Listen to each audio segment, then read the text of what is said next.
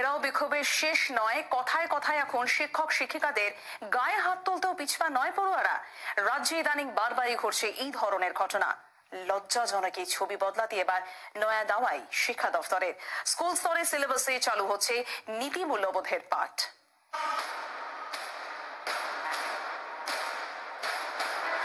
যাকে আমরা পড়ালাম সে এই আমাদের রিটার্ন করল।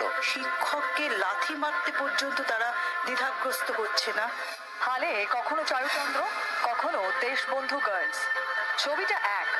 পড়ুয়াদের উগ্র আন্দোলন অভব্যতা কোন পর্যায়ে যেতে পারে তার জলজান্ত প্রমাণ।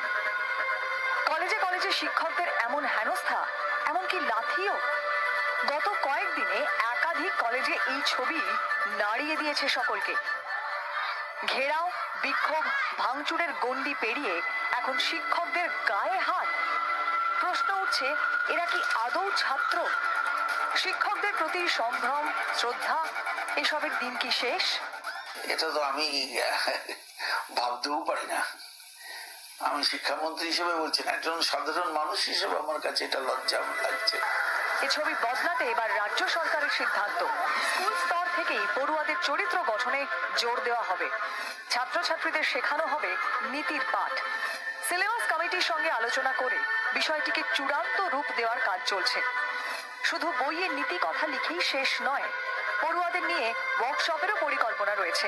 চরিত্র গঠনের উপরে মুখ্যমন্ত্রী যথেষ্ট গুরুত্ব দেন। আমরা লেখা টেখা জোগাড় করে মনীষীদের জীবন নিয়েও আমরা কিছু কিছু লেখা নিয়েছি। অভিক মজুমদারের সাথে এক্সপার্ট কমিটির সঙ্গে কথা হচ্ছে যাতে এটা ঢোকানো যায়।